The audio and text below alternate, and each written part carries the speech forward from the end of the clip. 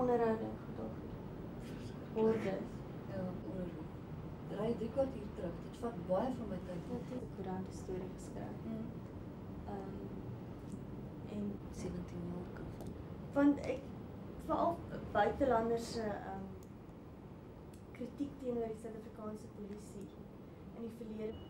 Ons sien. Ek dink sal die navorsing daar's baie navorsing. I never really very far from it. Um, it's never bothered me. It's interesting. I'm a scientist. I look at it scientifically. I don't dream about it. I don't have nightmares about it.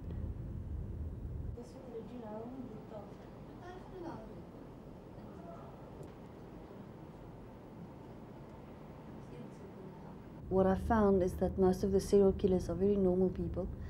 Um, some of them is they're actually very nice people. They're pleasant people.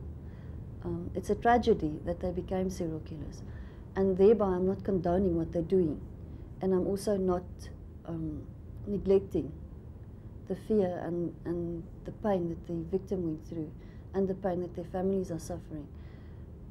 But serial killers are very, very normal and they have a lot of pain inside them that, that compel them to do what they do.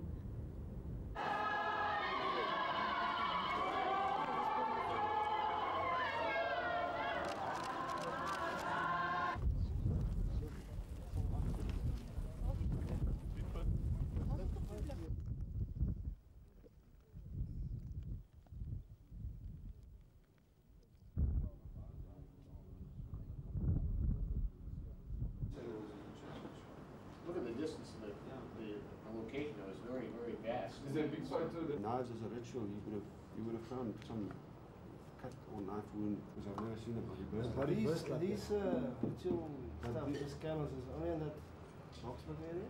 No. The possibility again exists, and the investigation uh, along those lines by the detectives is not complete. Uh, my, my safety zone, where I know that I'm in control, a remote. Uh, when I came here, uh, I reviewed her profile and her work that she had done on this immediate case. And uh, uh, again, I was uh, complimented in that I could add very little to her profile that, that she had not already covered.